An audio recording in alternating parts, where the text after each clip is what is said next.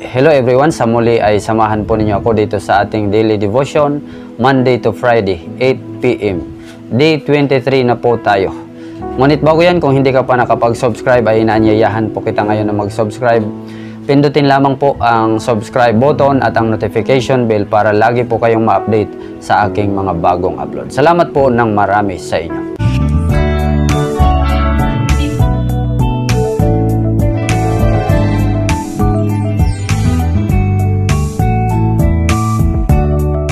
Ang teksto po mga kapatid na ating pagbabatayan ngayon ay nandito po sa Kawikaan 5.21.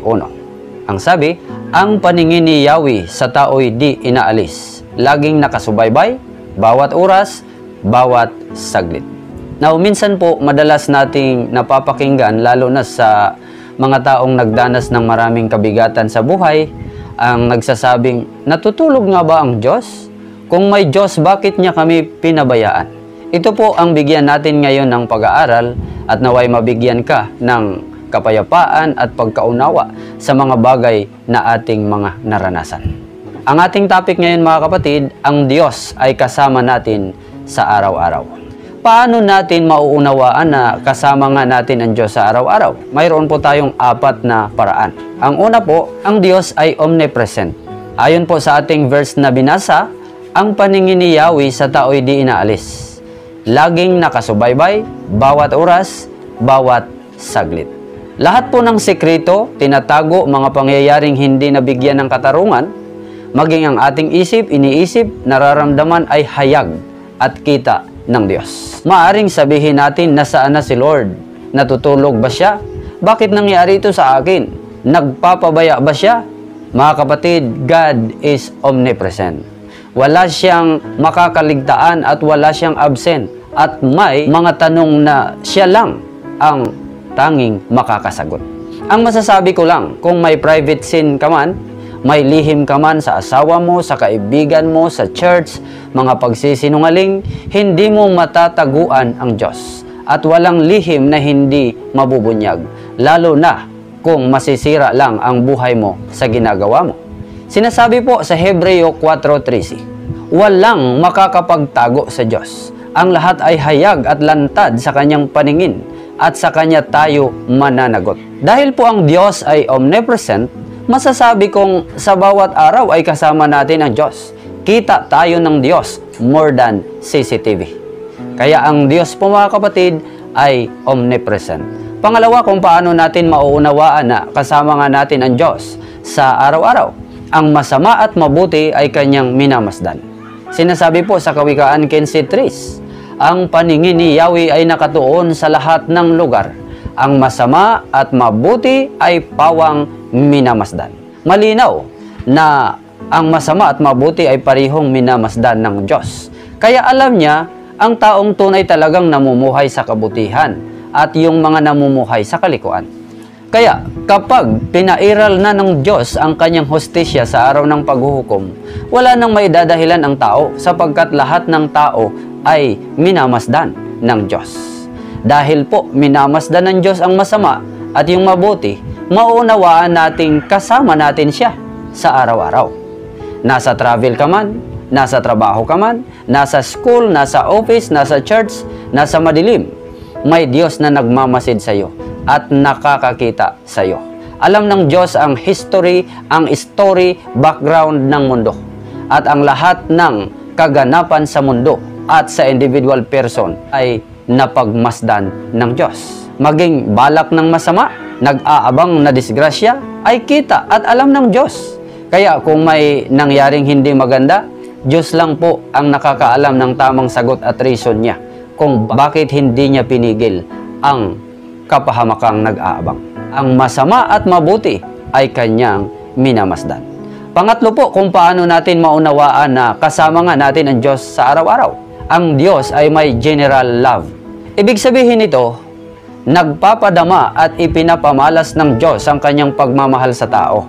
Masama man ito at mabuti. Kaya masama man at mabuti ay pinapaulanan ng Diyos at pinapainitan para mabuhay. Nagsusupply ang Diyos ng libreng hangin, libreng tubig na maiinom at iba pang pangangailangan ng tao. Sabi po sa Mateo 5.45, upang kayo'y maging tunay na mga anak ng inyong Ama na nasa langit, sapagkat pinasisikat niya ang araw sa mabubuti, gayon din sa masasama.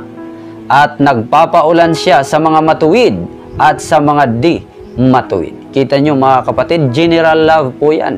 Walang pinipili, masama at mabuti, nagpapakita ang Diyos ng kabutihan. Ngayon, bakit ginagawa ito ng Diyos? Dito po sa gawa 14.17. Gayon man, nagbigay siya ng sapat na katibayan upang makilala ninyo siya sa pamamagitan ng kabutihang ginagawa niya sa inyo. Kaya pala na patuloy ang pagpapakita ng Diyos ng general love sapagkat ang gusto niya ay makilala talaga natin siya ng lubos. At ang sabi, binibigyan niya kayo ng ulan mula sa langit at ng masaganang ani sa takdang panahon. Binubusog niya kayo sa pagkain at pinupuno ng kagalakan ng inyong mga puso. Now, even po mga kapatid, yung pagtubos ni Jesus sa ating mga kasalanan ay ginawa niya para tayo ay mabigyan lamang ng pagkakataong maligtas at makilala siya. Walang pinipili po mga kapatid, kaya general love po ito. Kaya mga kapatid, maliwanag na kasama natin ang Diyos sa bawat araw.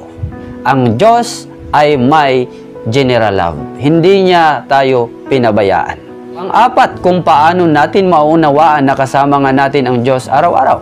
Ang Diyos ay may special favor sa mga anak niya. Parang ganito yan. Nakakatulong ka sa tao at sa kapwa mo. ba? Pero may special favor sa pamilya mo sa asawa mo at sa mga anak mo. Iba talaga yung pagturing natin sa ating mga mahal sa buhay.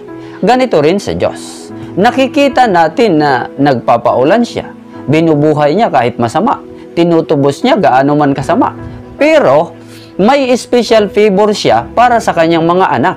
Hindi lang sa mundong ito, kundi pati sa eternity. Ligtas na yan, may kaligtasan yan.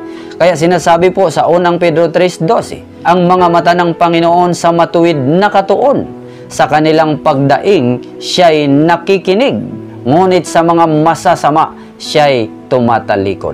The face of the Lord is against them that do evil. Sinasabi po sa Jeremias 17, 7 at 8. Ang sabi po, Mapalad ang mga taong nagtitiwala kay Yahweh pagpapalain ang umaasa sa Kanya. Katulad niya isang punong kahoy na nakatanim sa tabi ng batisan. Ang mga ugat ay patungo sa tubig, hindi ito manganganib kahit dumating ang tag-init.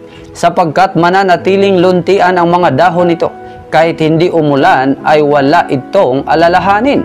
Patuloy pa rin itong mamumunga. So mga kapatid, kung ikaw ay tunay na anak ng Diyos, tunay na sumusunod sa Kanya, tunay na followers niya, mayroon kang special favor from God. Uunahin niya tayo, papahalagahan niya tayo, i-bless niya tayo, at hindi niya tayo pababayaan. Kung may mga pagsubok o kahirapan man, all things work together for good. Para sa kanyang mga anak, para po ito sa ating ikabubuti. Mamuhay ka lang ng matuwid. May kabanalan, may katapatan, paggalang at may malalim na ugnayan sa Diyos. Siguradong mag-uumapaw ang favor ni Lord sa buhay ng bawat isa sa atin. Ang Diyos ay may special favor sa mga anak niya. Para po sa aking iwanang conclusion, mga kapatid, malinaw na ang Diyos ay kasama natin sa bawat oras at panahon. Ang nais ng Diyos ipaunawa sa atin ngayon na makilala natin siya ng lubos at maunawaan natin na kasama natin siya sa araw-araw. Ang Diyos ay omnipresent. Dapat nating maunawaan yan. Ang masama at mabuti ay kanyang minamasdan. Dapat nating maunawaan yan. Ang Diyos ay may general love. Dapat din nating maunawaan yan. At ang Diyos ay may special favor sa mga anak niya. Tayo po ay manalangin. Panginoon, salamat po sa kaunawaang aming naunawaan at napakinggan ngayon. Maraming panahon ay nagduda kami sa iyo sa pag-aakalang wala ka sa aming tabi. Ngunit nalaman namin na ikaw pala ay laging nakasubaybay sa amin. Alam mo ang lahat ng aming mga ginagawa at lahat kami ay magbibigay sulit sa iyo. O Diyos, patuloy niyo po kaming gabayan sa bawat araw sa aming pinagpapasyahan. At lahat ng aming kahilingan ay aming hinihiling. Sa tanging pangalan ni Jesus, Amen and Amen.